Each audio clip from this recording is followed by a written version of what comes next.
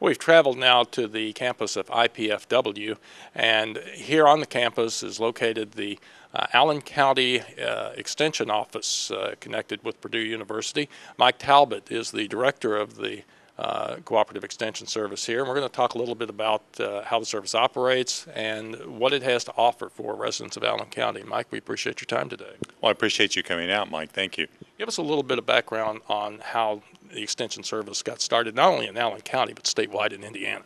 Statewide, actually, it got started as a mandate from the federal government. It is a product of uh, legislation that was actually signed by Abraham Lincoln and then Woodrow Wilson to uh, create land grant universities. And Purdue is our land grant university in the state of Indiana. And then Woodrow Wilson signed the, what was called the Morrill Act, which created within the U.S. Department of Agriculture the Extension Service, which is meant to take the research from the land grant universities out to the citizens of each state. So uh, Purdue actually oversees the office, but what's your connection with Allen County government? Then each of those counties are expected to have an extension service. Uh, it, there is a state mandate that says that each county shall be funded uh, from the local government entities uh, and provide an office so that the extension service can do that education mission uh, to the citizens in in their particular county.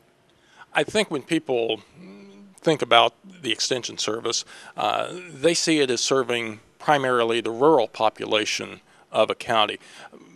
We'll talk to you about uh, some of the specific services that you have, but uh, you also have things that are really are tailored or applied to urban areas of a community as well.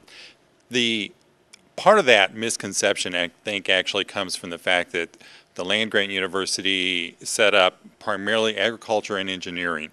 Extension Service operates primarily out of the College of Agriculture at the university, but it does also at the university. Extension has ties into the veterinarian school and also consumer family sciences. The program areas that we deliver, actually agriculture and natural resources is only one of those areas. We also do youth development primarily through the 4-H program and the majority of those kids in Allen County do not live on a farm. Uh, we also have consumer and family sciences, which is anyone wanting to take care of home issues or financial management issues. The other area that we have is also in what we call economic community development, which crosses the lines across all uh, categories, including city, county, uh, townships, anybody and everybody in terms of trying to develop some leadership and bring together cohesive groups to cause change, positive change in the community. You mentioned 4-H, probably one of the most recognizable programs that you have going, and I know that's a program that uh, continues to grow and grow each year. That's right. The 4-H program actually is about positive youth development in terms of offering 4-H uh, curricula to young people in Allen County. We start with age three uh, through preschool is our Cloverbud program. K1 and 2 is our mini program, and then once they hit grade 3 through 12 is our traditional program. We have a little over 1,200 kids actively involved in that particular program. Then we also use our curriculum in after-school sites and some in-school sites uh, where that same curriculum that's developed at the university and in the land-grant university system nationwide is delivered at our local uh, community. What are some of the other uh, more popular programs uh, that you have going? Our other major, major program that is very, very popular, obviously, is our Master Gardener program and the horticulture industry. Uh, we do have the advantage here in Allen County of having a educator specifically in horticulture, uh, and he works with both home horticulture and professional landscape, uh, the business side of it.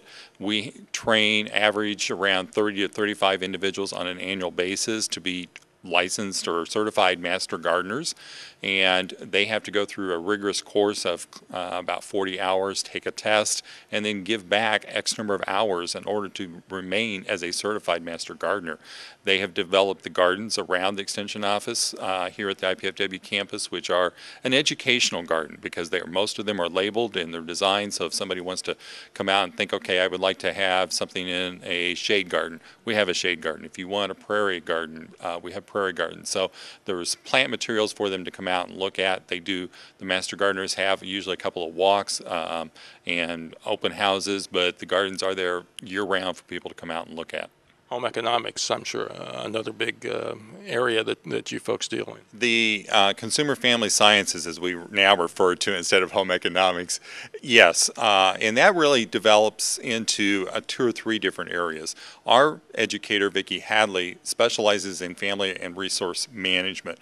Her real strong suit is in financial management, and she works with uh, local institutions on money management, getting people checking accounts, so that if they have lost their checking privileges, helping them with savings accounts. Uh, she's networked with a lot of the social agencies uh, for people trying to get a leg up on how to save, how to balance their budget, those kinds of things. The other areas that we deal with a lot of is in food uh, and um, taking care of um, how to prepare good meals uh, with balanced diets. Um, we also deal also with some human development areas of the consumer family sciences. Uh, we have the largest group of ladies in the state, well, not just ladies, but uh, primarily ladies in the extension homemakers uh, in the state of Indiana. Um, so there's several different areas that we deal with in the consumer family sciences. What's in the future for the Extension Service from your standpoint? Uh, what area, are you looking at any areas in particular that you want to branch out into or, or that you feel you need to be involved in to, to remain a vibrant and relevant part of the community? Our state director has challenged us to be looking more at uh, projects that really bore down into a specific area. One of those areas is we go out and, and visit with people and, and get feedback on what programs we should be delivering is on sustainability. And that's a very broad topic, and we're still trying to narrow the focus down. But one of the things that we worked with a lot this past year, this past summer, were the increased number of farmers markets and people wanting to grow their own or buy local product.